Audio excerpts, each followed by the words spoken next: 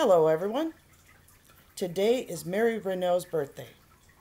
And as a proposition as to this group, I highly suggest that we all take $10 and put it towards Mary Renaud's party, the NDP, so that they have a better chance of getting into next year's elections and to hopefully get things changed back or changed for better if they should get into power.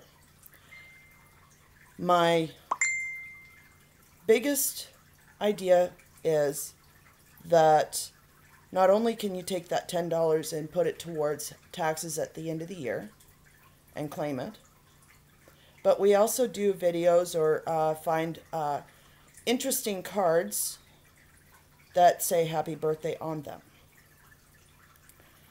I'm going to do this myself because that's just the way I am.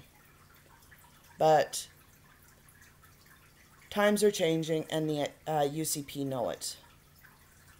We cannot stay quiet and we cannot let things slide.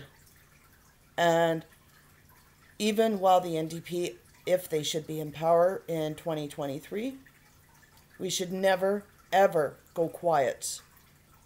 It is our job to hold the flames to their butts if we find that uh, they're slipping. That means that we all need to fight now, fight hard, and fight furious. That means speaking your mind. That means picking brains of others on how to go about things. That means coming up with ideas, solutions, and better ways of getting grants or funds in order to get things uh, going. This means creating a disability caucus. This means your future, your children's future, and everyone else in process to help future generations. I'm at the point in my life where I just don't give a damn anymore whether I receive the help I need or not. My concern is what's going to happen to your children when they turn 18 and have the ability to live on their own, but they're not being taught the necessary means to be on, that, on their own. Do you want to be that one parent that is stuck with their child even though you have a disability yourself?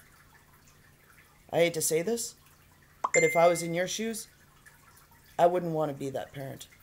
I would want to see my child flourish. I would want to see future children flourish.